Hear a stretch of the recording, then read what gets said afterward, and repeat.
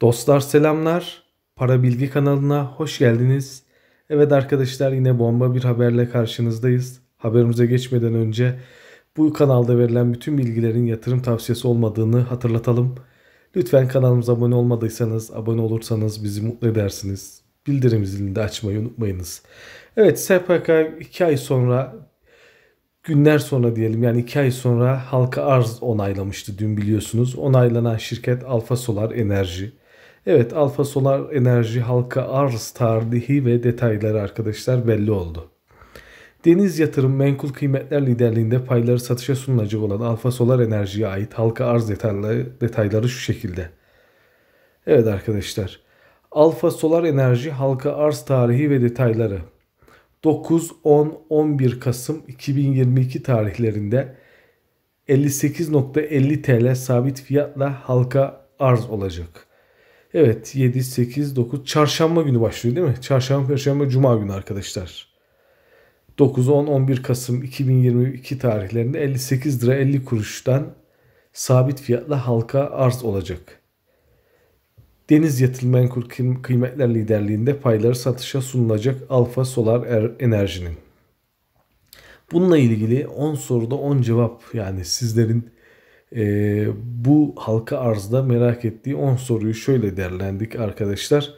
Halka arz tarihleri ne zaman? Bu 9, 10, 11 Kasım 2022 evet çarşamba, perşembe ve cuma günleri.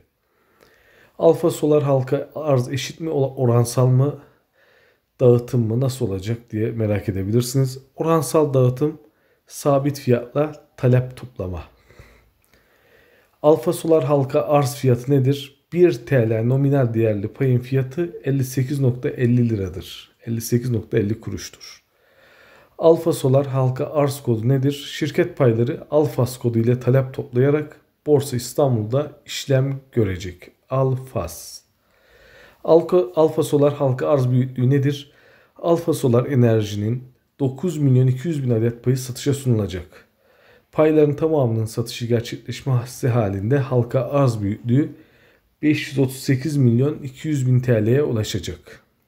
Evet çok büyük bir rakam arkadaşlar.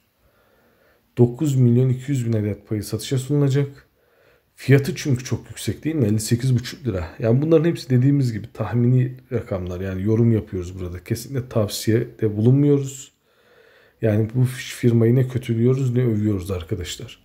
Ama 9 milyon 200 bin adet payı satıldığında 538 milyon 200 bin liraya ulaşacakmış halka arz büyüklüğü. Sadece bu halka arz büyüklüğü. Düşünün. Yani çünkü şirket ne kadar büyükse yani baya büyük demek ki.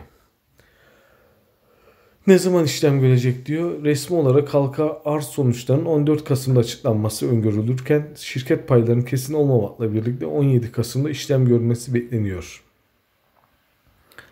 Alfa Solar halka arz edilen paylar ne zaman hesaba geçer? Halka arzın son bulacağı 11 Kasım tarihinden itibaren 2-3 gün içerisinde hesaplara geçmesi bekleniyor. Alfa Solar halka arz sonrası hangi pazarda işlem görecek? Şirket Alfas koduyla Borsa İstanbul Yıldız Pazar'da işlem görmeye başlayacak. Alfa Solar halka arz hangi bankalar ve aracı kurumlar işlem, işlem yapacak? Bunlar çok fazla. Yani Türkiye'de bildiğiniz çoğu bankadan bu aracı kurumdan yardım alabilirsiniz arkadaşlar. Denizbank, Kapital Yatırım, Ahlatçı, Alnus Yatırım, Anadolu Yatırım, Ata Yatırım, Bulgan Yatırım, Garanti Bankası, Gedik Yatırım, Marbaş. Şöyle gördüklerimi okuyorum. bir Finans Yatırım, FİBA Banka, Oyak Yatırım. Evet arkadaşlar vakıf yatırım, ünlü menkul değerler, bula bula bula. Evet gördüğünüz gibi Alfa Solar'la ilgili e, kafanızda soru işareti olabilecek 10 sorunun 10, 10 soruya 10 cevap şeklinde verdik. Siz kendi fikirlerinizle bu şirketi araştırarak, derinlemesine inceleyerek, gerekirse Kırkan'daydı sanırım bu şirket.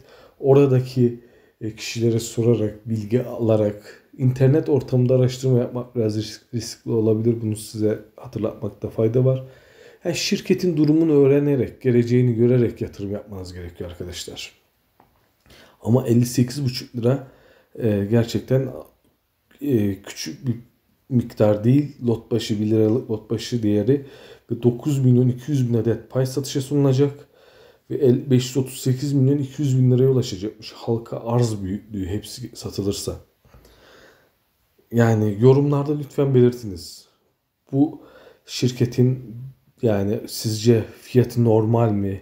Yani 1 TL nominal değerli payın fiyatının 58,5 lira olmasını yorumlarda belirtirseniz e, konuşuruz, tartışırız. Sadece ben hepsine cevap veremiyorum. Çok sorular geliyor. E, kanalımız ufak bir kanal ama aktif bir kanal biliyorsunuz. E, hepsine cevap veremiyorum. Siz oralarda tartışabilirsiniz. Lütfen e, adabı bozmadan, güzel kelimelerle karşıdakini rencide etmeden konuşulabilir. Çünkü 1 TL nominal değerli payın fiyatı 58,5 liraymış. Ve e, 538 milyon 200 bin liraya ulaşacakmış halka arz değeri. Hepsi satılırsa bu az bir para değil. E, bu yüzden hepiniz geleceğinize yatırımı şirketlerin geleceğini bilerek, geçmişlerini bilerek ve o anki finansal yapılarını bilerek yatırın. Çünkü siz bu geleceğinize yatırım yapıyorsunuz. Lütfen verdiğimiz hiçbir bilgiyi yatırım tavsiyesi olarak da almayın. Bizim fikirlerimiz sizin fikirlerinize uymayabilir, zarar edebilirsiniz. Evet arkadaşlar, dinlediğiniz için çok teşekkür ederiz. Tekrar hatırlatalım. Küçük bir kanalız ama büyümek istiyoruz. Ee, kanalımıza abone olursanız, bildirim zilini açarsanız, videolarımızı beğenirseniz, yorum atarsanız, katılım teşekkür butonlarımız aktif. Buralardan da isterseniz bize destek olabilirsiniz. Hepiniz efendim bol bol kazançlar.